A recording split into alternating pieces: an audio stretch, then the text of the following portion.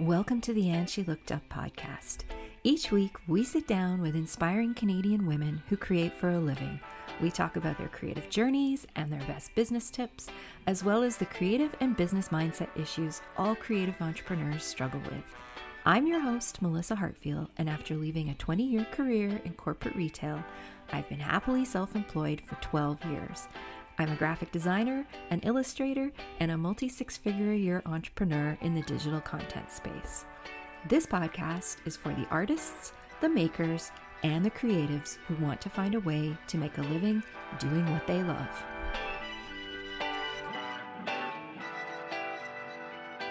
Hello, everybody, and welcome back to another episode of the And She Looked Up podcast. As always, I am your host, Melissa, and this week I am here with a solo episode, which I haven't done one for a while, so I thought it would be kind of fun to do one now. Um, and this week I'm going to be talking about something we haven't really addressed on the podcast in its own episode, and that is self care or health and wellness or mental and physical well being.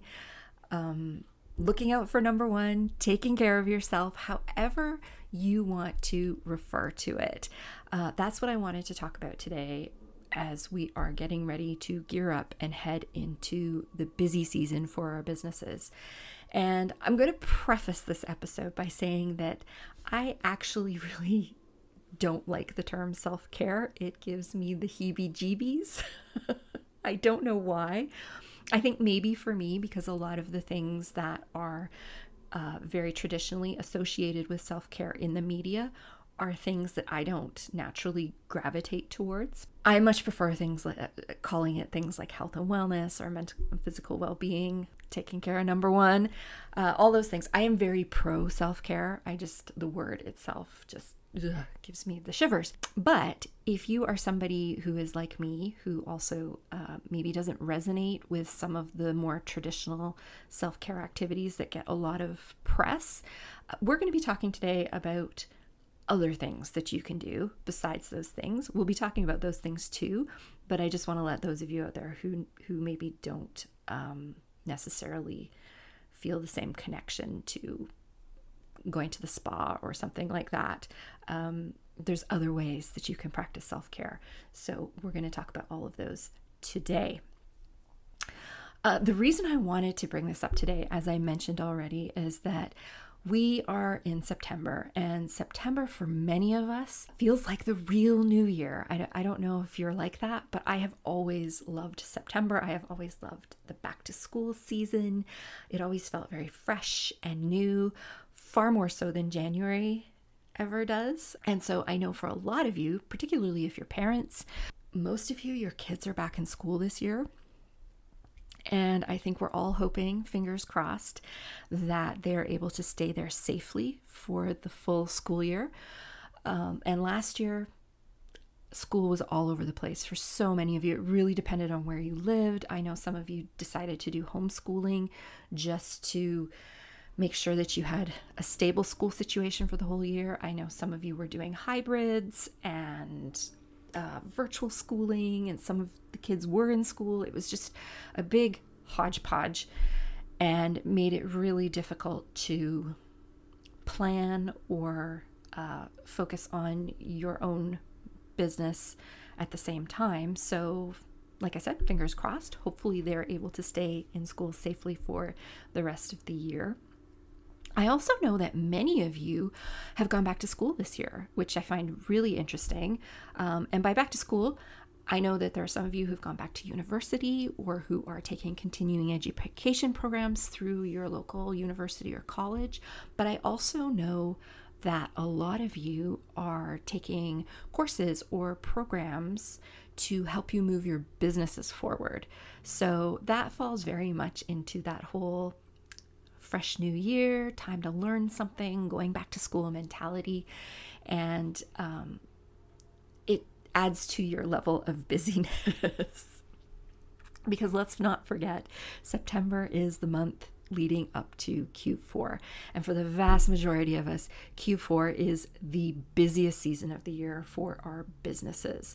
And if you have not listened to it already, I do highly recommend that you go check out. Um, I'm just going to look up the episode, episode number 70 of the podcast, Holiday Season Prep.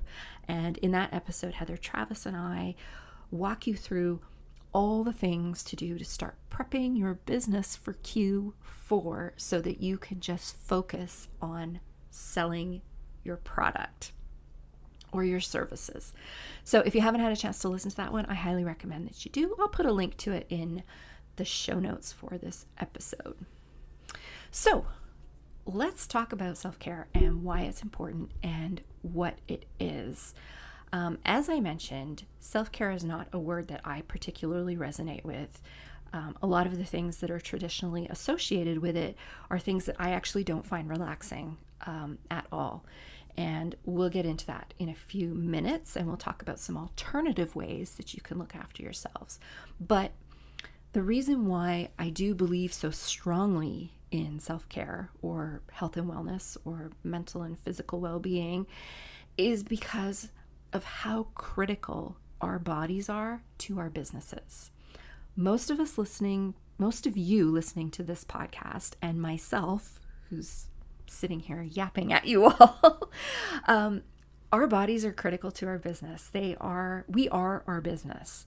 And in order for our business to be successful, our bodies need to be operating at peak performance levels, both physically and mentally. And I think it's really important to focus just as much on the mental side of it as the physical side of it. But they're both important, they both go together. And it is really crucial that we take care of both of those things. Because if we're out of commission, what would happen to your business? if all of a sudden you came down with something that required you to be in bed for a week, what would happen to your business? Could it float along without you for a week and still be profitable and still sales could happen, products could ship out, commitments could be filled? Could those things happen or would you have to delay? And what happens if you're out of commission for a month or three months or six months? could your business keep going? That's a bigger question, one to think about, um, and and probably one worth a podcast episode on its own. But this is why it's so crucial for us to be to take care of ourselves essentially um, particularly for us as creatives because for most of us our businesses work off of our creativity it's it's melissa's creativity it's your creativity. And so, if you are not able to have that creative output, what would happen to your business? Could you, could somebody else take over? Do you have another designer? Do you have another artist, a painter, an illustrator, somebody who could make your jewelry, somebody who could design new jewelry under your brand? Those are the kinds of things that we need to think about. And if the idea of having somebody else come in and create on your behalf makes you very uncomfortable, then that's just one more reason why we really need to look after ourselves. And I like to compare what we do to what professional athletes do. I think it is a really good metaphor. The similarities are so similar. um, when you think of a professional athlete, somebody who is uh, competing at the highest level. So we're talking like Olympic athletes, uh, NHL players, Major League Baseball players, um, football players, any kind of sport where they're operating at a very high level. And let's be honest, a lot of money is on the line. Okay, for those athletes, their bodies are their careers. And many of them know that they are going to have very short lived careers as a professional athlete. That's just the nature of what they do. So they need to make the most of their shortened earning span. And that's why almost everything that they do off the field is about supporting their body's ability to perform at a peak level. And that's something we need to think about too, because we need our body to be operating at a peak level, our body and our mind to be operating at a peak level in order to perform at a peak level. So, when you think of a professional athlete, these people are surrounded by teams of people whose jobs are to look after them mentally and physically. So, they have people who make sure that they are eating properly, make sure that they are training properly. So, not necessarily practicing their sport, but keeping their body in top condition through specific workouts and exercises. Um, they have people who help them mentally. There's a whole field of sports psychology, people who help athletes get to that level of top performance through visualization techniques and um, all kinds of like mental coaching and things like that. Have you ever considered that for your business?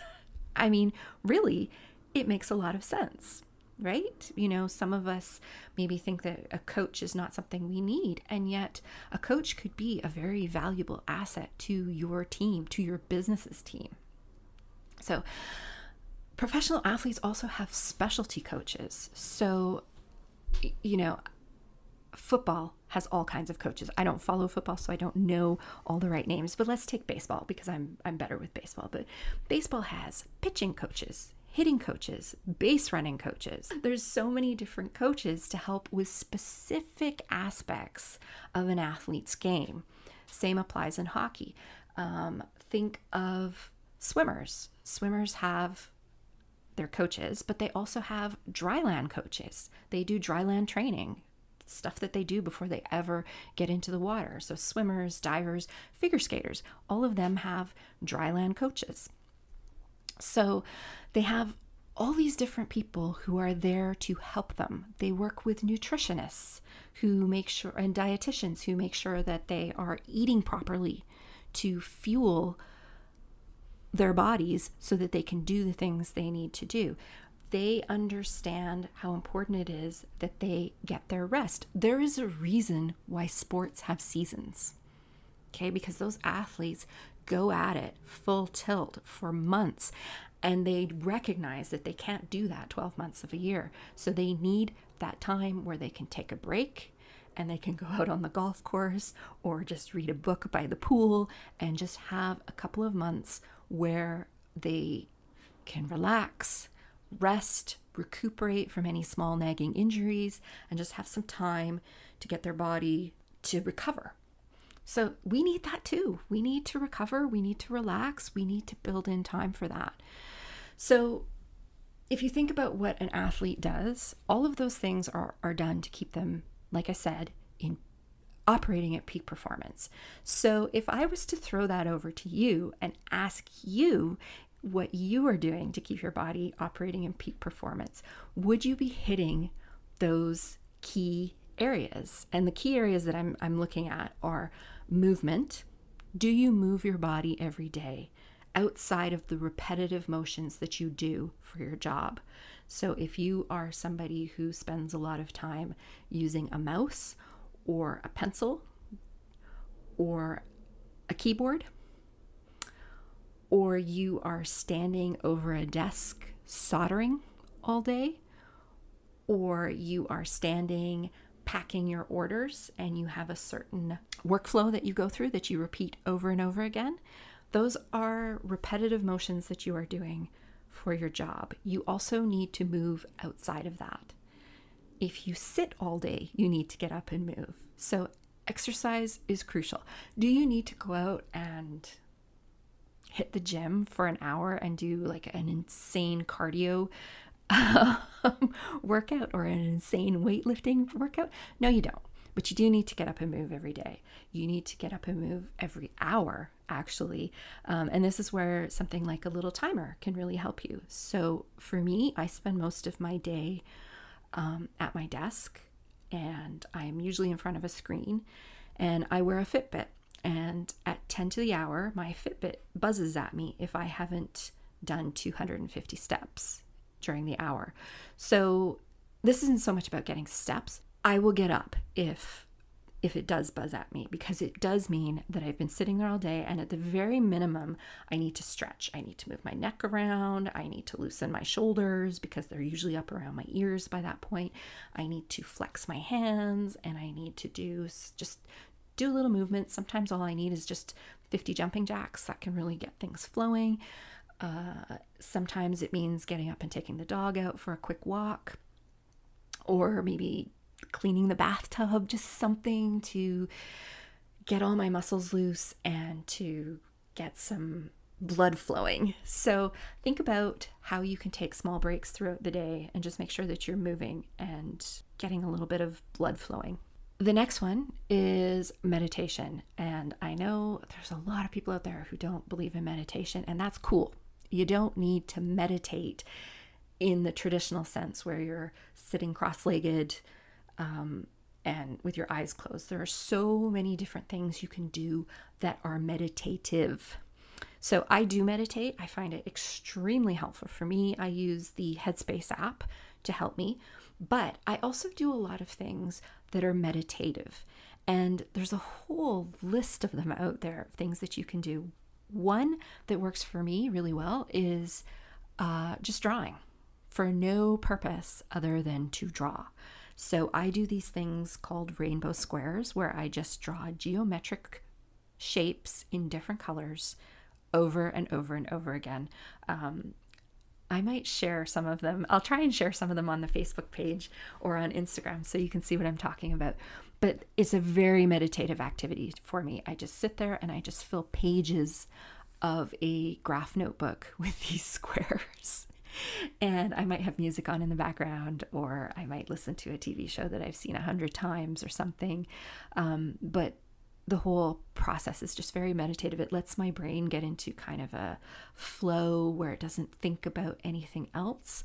But there's lots of other things you can do as well. I find that anything that you do with your hands that you really have to focus on can become very meditative. So things like drawing, knitting, embroidery, woodworking, um, even doing the dishes. Sometimes you just get into that zone when you're doing the dishes. You're kind of looking out the window and there's water and you just get that whole flow.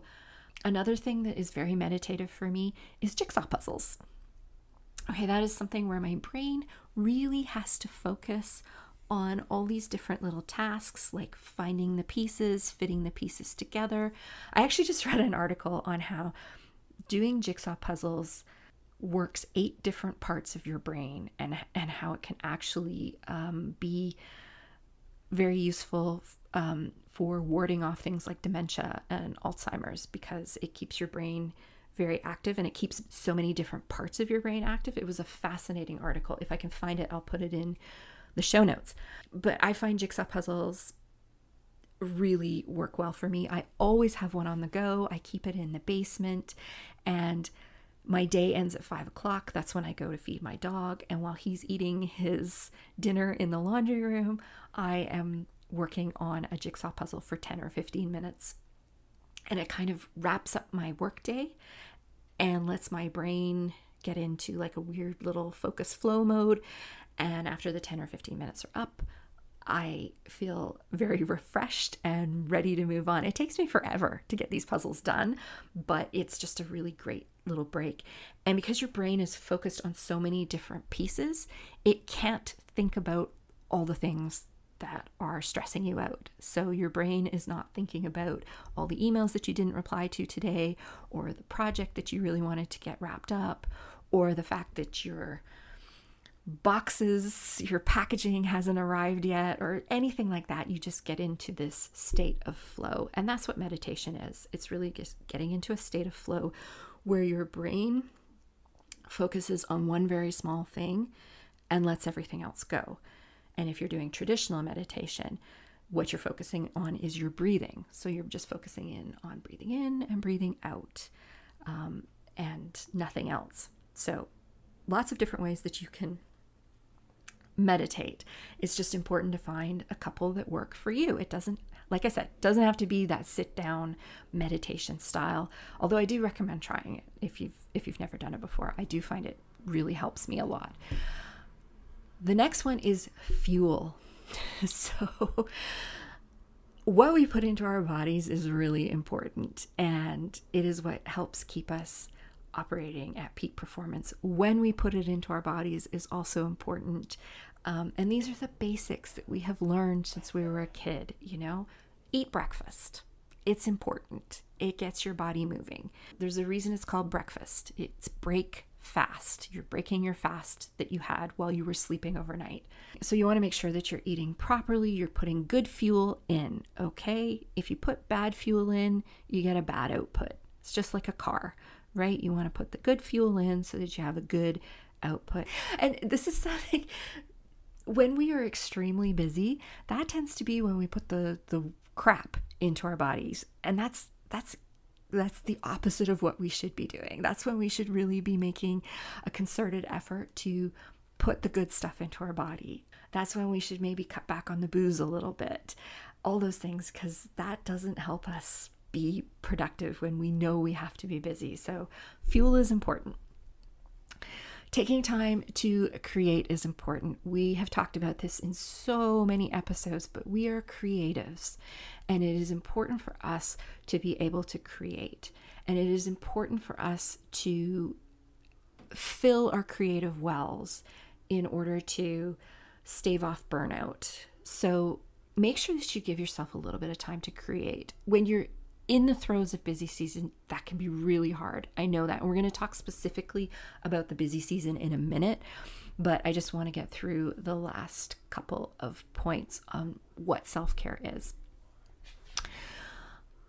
The next one is learning. So I didn't really know what to call this. I didn't know if I should call it learning or growth or what, but let's call it learning for lack of a better word. This is something that we all need to do. We all need to keep learning. We all need to keep growing. We all need to keep being challenged. And so it's important to take a little bit of time out of your day to make that happen. And there's so many different ways you can make this happen. You don't have to sign up for a course, you don't have to go back to school. It could be as simple as reading the news. Not just your local news, but the international news. Find out what's going on in the world. It could be reading a book for 20 minutes before you go to bed. Um, it could be watching a documentary on Netflix at the end of the day. Just something small to kind of keep your brain thinking about things. Any kind of puzzles, um, those things keep your brain clicking and thinking and growing. And that's something that you want to make sure that you're doing. Last but not least is rest. Okay, so let's talk about rest. Let's talk about sleep. I'm an eight hour sleep kind of girl. I don't function if I get less than eight hours. I don't really function if I get more than eight hours. So I kind of have this half hour window where I'm operating at peak performance. Seven and a half hours, I can probably be okay. Seven hours, not so much. Eight and a half hours, that's kind of the limit as to how far I can sleep. Um, I love to sleep. It is one of my favorite things. I love getting into my bed at night. I love curling up and falling asleep. Oh, just thinking about it is so delicious right now.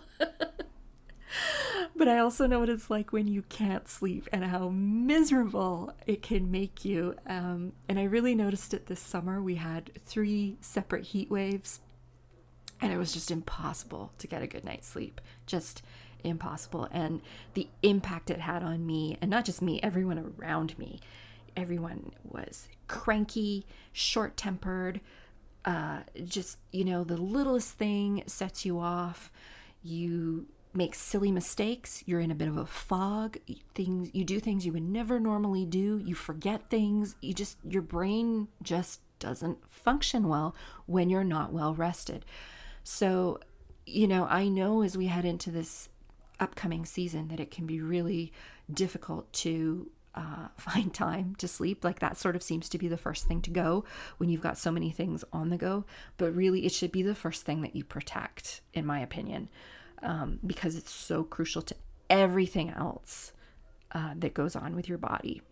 Not getting enough sleep can affect your hormones, it can affect your mental capacity, so many different things that can cause issues for you cumulatively or on their own. So, try to make room for sleep And this is another one where I know for a lot of us, towards the end of the day, we'll kick back and we'll pour a glass of wine to help ourselves relax. And just be careful with that as you head into the holiday season, particularly as we also start to spend more time with friends and things. Alcohol consumption tends to increase. And just remember that alcohol is a depressant um, and it can really impact your your sleep. It might make you fall asleep, but you may not have as deep a sleep or as restful a sleep. So, you know, take it easy on things like that. Same with the rich food that tends to appear this time of year. But, you know, it's so easy to overdo those things because all that rich food is comforting. It's comfort food. Hey, I get it. I'm a comfort food junkie, for lack of a better word. But I know that when I eat too much of it, it really impacts my ability to sleep. It's not fun trying to sleep when you've got a heavy feeling in your stomach. So, moderation. Let's just practice moderation as we go through Q4 because getting that rest is really critical. And um, if you're the type of person who can nap and you can find a little 10 15 minute window in your day to have a nap, go for it if you're the type of person who's more like me, uh, taking a 20 minute nap in the middle of the day is disaster for me. I do not function well after a nap. Don't take a nap, but just find ways to get some rest throughout the upcoming quarter. So, those are kind of the the the key the six keys for me when it comes to self-care. Movement, meditation, fuel, rest, learning, and creating. And I will have all of this listed in the show notes. So let's get into some of the more practical aspects of this. So, how can you support your body during the holiday season? It's important to note the word season there. And I am a believer that there are seasons in life and in work and in business. And there are going to be times where you're going to have to go all in for a period of time. And that's okay. It's okay to do that, providing that at the end of that season, you have a season of rest. And this is where a lot of us trip up. We go all in during that season where we where it's needed in our business. But then when that season ends, we don't take the season of rest. we we try to find things to keep busy or things that we can work on in our business or we try to um, come up with ideas to get people to buy, or we go into a, a studio frenzy where we're trying to come up with new ideas and new new products for the next busy season. But it's really important that if you're going to go all in for three months, that you make sure you have some downtime at the end of those three months and that you are very protective of that. We talked about setting boundaries with social media last week. It's important that you set boundaries with your business and your body as well. So, I'm not saying you need to take three months off, but you need to take a week off, maybe two weeks, and you need to remove yourself from your business for a while and just let your body and your brain process the season that you've just been through and then have some time to relax and not think about it and you'll find that at the end of two weeks, your brain is starting to click again. It's like it's coming up with new ideas. I'm, I'm snapping my fingers here. um, it's coming up with new ideas and new things that it wants to do. And that's because it's had a chance to like catch up with everything that just happened. Okay, so um, if you're going to go all in for the season, go all in for the season, but just please put in your calendar right now the first two weeks of January, block them off, or the last two weeks of January, or whatever works for you. It's crucial. It's crucial to ensure that you don't wind up burning out. It's crucial for your health, both physical and mental. So let's dive into how you can support your body during the holiday season. I want you to make a list of the things that you could take off your plate during the holiday season. And this list is going to be different for everyone. It's really going to depend on your particular life. But are there things that you could potentially stop doing for three months? Are there things that you could potentially get somebody to help you with for three months? Um, and that leads me into the next point. Can you hire some help? Both in your business and in your life. So maybe it means hiring somebody to pick the kids up from school for the next three months, or maybe it means getting your partner to be on school pickup or daycare pickup.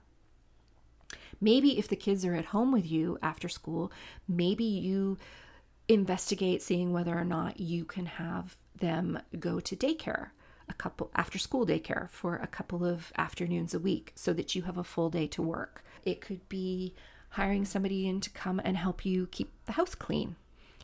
You might want to hire a meal service. I, you know, you might not want to do this for the full three months, but we all have a, a week or two in Q4 that is crazy. You know, it's the week before your shipping deadline, it's the week where you need to have all your product made. It's going to be different again for everyone, but maybe you hire a meal service during that week so that you don't have to worry about dinner. Or if the budget stretches to it, maybe you get takeout. Find a way to get some help, is what I'm trying to say. We did an episode with Stephanie Todd uh, last year or actually it was earlier this year, last season anyway. Um, and for those of you know Stephanie, she is a meal planner. And the way that she got started with meal plan and meal prep is that for her, it was an act, she actually described it as an act of self care because she had a very busy, high level job.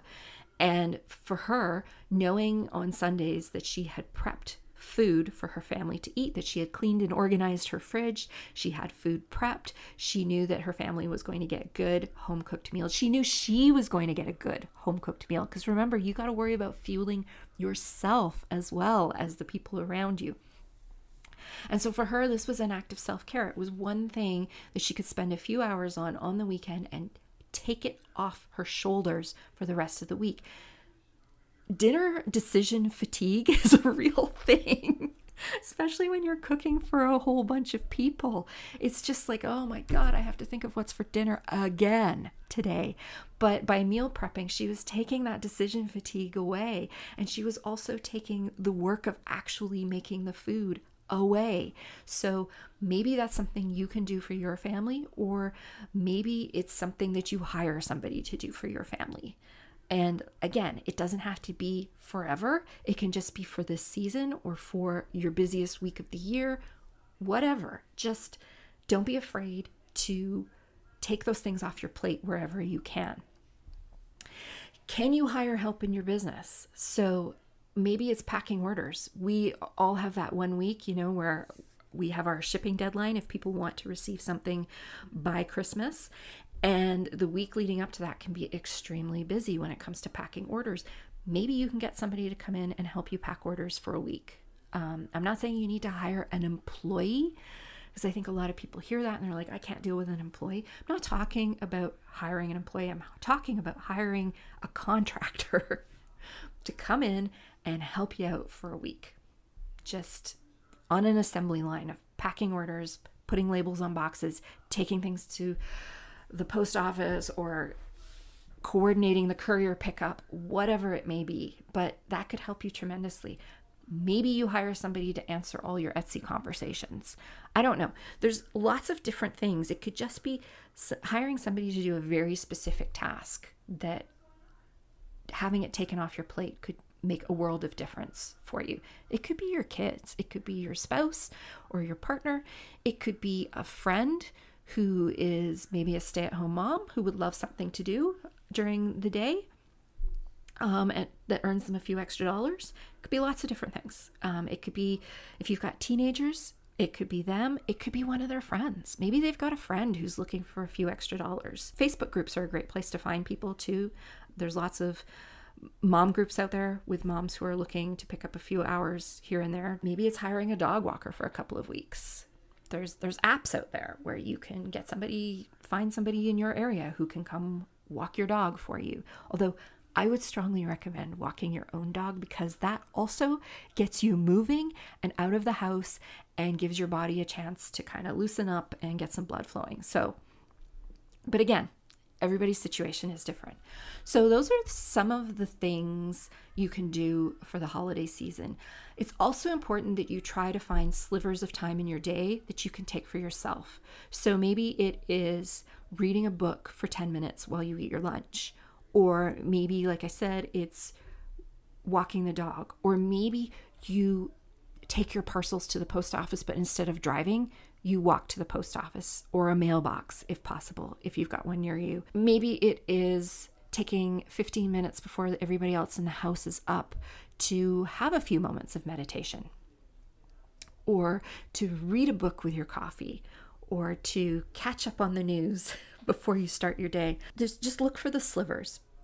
You may not be able to find an hour, but I'm pretty sure you can find 5 or 10 minutes. Find those slivers in your day and make the most of them. Okay, so let's talk a little bit about things you can do from a self care perspective throughout the year, some of which are things that you probably already associate with self care, but some of which, or maybe things you haven't thought of. So I think for a lot of us, when we hear the word self care, we think of things like um, getting a manicure, going to the spa, uh, getting a massage. That's not for everybody. Those, first of all, those are very legitimate self care activities. Do not get me wrong. If you love doing those things and they make you feel good, absolutely do them. this is not about saying, about judging what kind of self care activities you, you do. It's just that I know that there are a lot of us who don't find those activities relaxing. I am one of them. Going for a massage stresses me out. Going to a salon or a spa stresses me out. Those are not relaxing, comforting activities for me. So, I want you to think about what does make you happy, what is relaxing.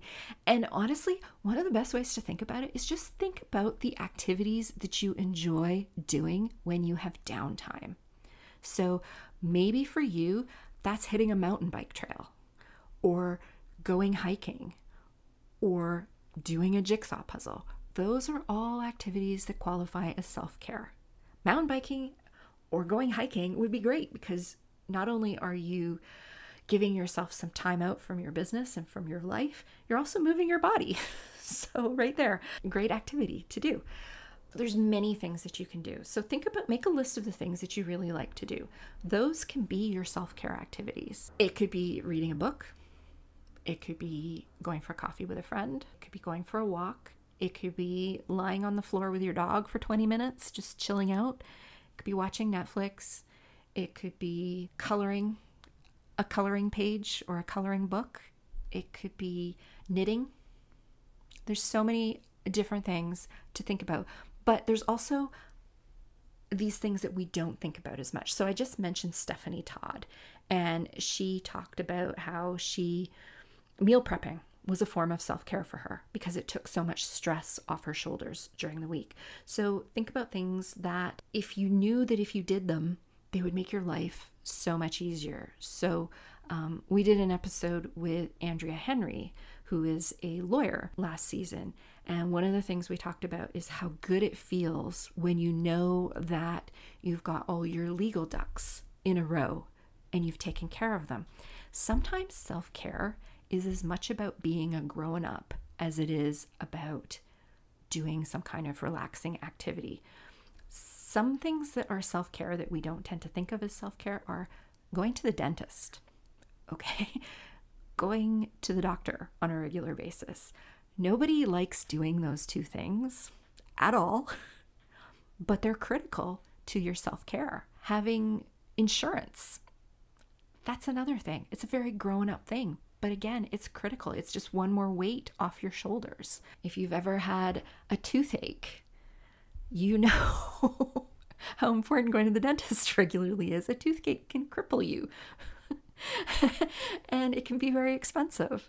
But if you had just gone to the dentist instead of making that six month checkup drag out into a one year checkup, maybe the tooth wouldn't have started to hurt and it wouldn't have cost you a lot of money to fix. So, things like that making sure that you have extended health benefits. That's a form of self care. Saving for an emergency fund is a form of self care. These are all very grown up things that we kind of put off and don't like to do, but they are a form of self care just as much as the fun and relaxing things are. So, that is something to think about when you are thinking of all the different things you could do to take care of yourself. So, anything that can take a weight off your shoulders, that can remove stress from your life, that can make you feel better about things, those are all self care activities. So it's important to keep that in mind. Paying your bills on time, that's a form of self care. Looking after your credit rating, a form of self care. You need to mix in the fun things too. Going on a girls' weekend, form of self care. Make sure that you go with a group of girls who are going to ensure there's no toxicity over the weekend. That's a form of self care. Uh, maybe it's going away on your own for a weekend. Maybe it's booking a night in a hotel in the city and just having a week, not even a weekend, a night to yourself. Get some room service. Watch a movie that you wouldn't get to watch at home because nobody else would want to watch it, something like that. That can be a form of self care. You don't have to spend a lot of money on self care could be reading. You can go to the library. You can get books for free. You can get magazines for free at the library. Going out for a walk doesn't cost you a dime. Getting on the bus and visiting a new neighborhood and exploring costs you the price of a bus ticket which I don't know what that is. It's been a little while since I've taken the bus with this pandemic, but you know, let's say it's three or four dollars not a lot of money. Another thing, one thing I do for myself for self care, my Friday afternoons are always blocked off. I don't do phone calls, I don't do meetings, I don't schedule any work during those times. If I decide I want to work, I can. That's great for me. But if I just want to take the afternoon off and go to the movies or bake some muffins or go for a hike, I am free to do that with no guilt whatsoever. That is my reward for running my own business and working my butt off the rest of the week. And like I said, some weekends I do, some Fridays I do work that afternoon. Some Fridays I take it off, but I I take it off without guilt. And that is also a form of self-care is doing activities and removing the guilt from it that you should be doing something else that's more productive or that you could be spending time Oh, on such and such. Okay, just remove the guilt from it. Okay, because what you're doing is critical to the success of your business. This is the thing you have to remember. All these activities are crucial to the success of your business. And it's not just one activity, it's an accumulation of multiple activities in those six key areas movement, meditation, fuel, rest, learning, and creating. You have to make some time for each of those. So, as we head into this busy season, I really hope that you find a way to make some time for self care, for your own well being. Remember, it's just as much about what goes on between your ears as it is what goes on physically with your body. Um, find the slivers in your day Make sure that you have booked some time off at the end of the busy season to really de stress and process the season that you've had and take some time to relax and let your body rest and recover, recuperate like an athlete. Um, yeah, and if the athlete metaphor helps you out, um, use it. I find it extremely helpful for myself. I am so far from being an actual athlete. but I'm an athlete in my business. So, um, the biggest thing you can do with these things, keep them consistent. Try to find the slivers of time in your day. And then when you get to the next season, you can make more time for self care. It's going to fluctuate, and that's okay. But it's really important that you do find little slivers of time in your day as we head into Q4 and that you make time for that extended period, extended season of relaxation at the end of Q4. So, that's it for this week everyone. This was this was a strange episode for me to record because like i said it's a word that i just struggle with but i don't struggle with the actual act of it. I know how important that is for me. I know how important it is for my businesses. And i hope that all of you also recognize how important it is for you and for your businesses and for your life and your family. So um, yeah i hope you all found this helpful and that's it for this week. Thank you all so much for listening, and I'll be back next week with another new episode. Talk to you soon. Thank you so much for joining us for the And She Looked Up Creative Hour. If you're looking for links or resources mentioned in this episode, you can find detailed show notes on our website at andshelookedup.com. While you're there, be sure to sign up for our newsletter for more business tips, profiles of inspiring Canadian creative women, and so much more. If you enjoyed this episode, please be sure to subscribe to the show via your podcast app of choice so you never miss an episode. We always love to hear from you, so we'd love it if you'd leave us a review through iTunes or Apple Podcasts. Drop us a note via our website at andshelookedup.com or come say hi on Instagram at andshelookedup. Thanks for listening, and we'll see you next week.